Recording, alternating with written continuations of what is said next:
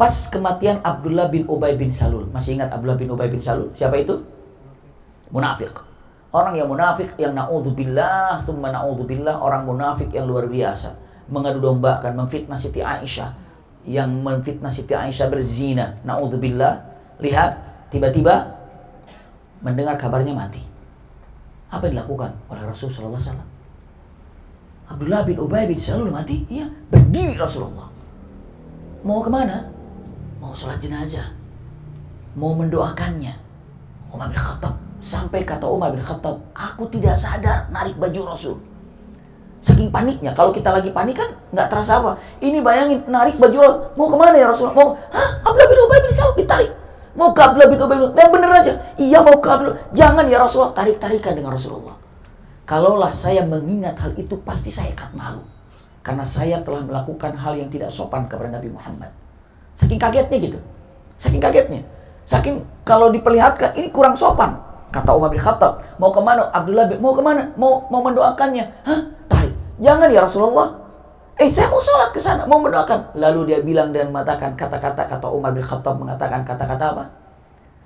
Kata Umar bin Khattab, dia ini telah begini, telah begini, telah Pokoknya semua keburukan-keburukan Abdullah bin Ubay bin Salul disebutkan oleh Umar bin Khattab kepada Rasulullah. Termasuk dia telah memfitnah Siti Aisyah. Iya, dia yang telah mengadu dombakan umat muslimin. Dia yang telah begini, dia telah begini, telah begini, telah begini. Rasulullah dia. Lalu dia mengatakan kata-katanya, Subhanallah, aku akan mendoakan dia. Subhanallah. Iya, kalimatnya dengan mengatakan kata-katanya, saya akan meminta ampunkan kepada dia dan saya akan sholat untuknya maka saat itu ya karena keinginan dilepaskanlah oleh siapa? Oleh Umar Khattab berangkatlah dalam keadaan hati sedih Umar Khattab. Kenapa harus mendoakan Abdullah bin Ubay bin Salul yang jelas-jelas munafik? Tiba-tiba apa? Rasul Shallallahu Alaihi Wasallam dalam beberapa riwayat memang sudah mensolatkan dalam beberapa riwayat dalam perjalanan tiba-tiba firman Allah Subhanahu Wa Taala turun dalam surah At-Taubah. Apa kata-katanya? In tastaghfir lahum aw la tastaghfir lahum in tastaghfir lahum sab'ina marrah fala yaghfirullahu lahum ya dzalika bi annahum kafaru billahi wa rasulihi wallahu la yahdil qaumal fasiqin subhanallah jadi kata-katanya demikian mau mendoakan sampai berapapun sampai 70 kali sampai lebih pun tetap tidak akan pernah apa? Dikabulkan oleh Allah Subhanahu wa taala. Karena apa? Dia orang kafir. Lalu dikatakan dalam ayat lain masih dalam surat Taubah lihat kata-katanya wala tusalli ala ahadim minhum mata abadan wala takum ala qabrihi innahum kafaru billahi wa rasulihi wa matu wa hum fasiqun. Subhanallah.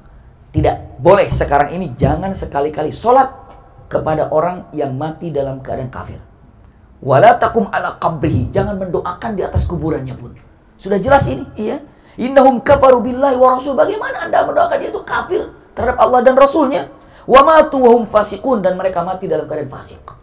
Tahu fasik? Fasik itu apa? Keluar daripada syariat Islam. Fasik itu keluar daripada syariat Islam.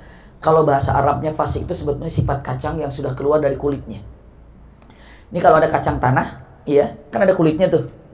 Begitu dibuka, kita katakan fasakol full. Artinya apa? Kacang itu telah fasik, telah keluar dari kulitnya. Nah, kalau ada seorang muslim dikatakan fasik, dia itu telah keluar dari syariat Islam karena kita dibungkus oleh syariat.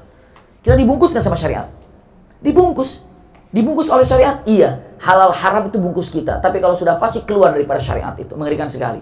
Maka kalimat ini mengerikan sekali dan Rasulullah mengatakan, Sadaqta ya Umar. Benar apa yang kau katakan Umar ternyata nggak boleh ya mensolatkan kepada orang yang kafir itu. Tidak boleh mendoakan orang kafir seperti itu.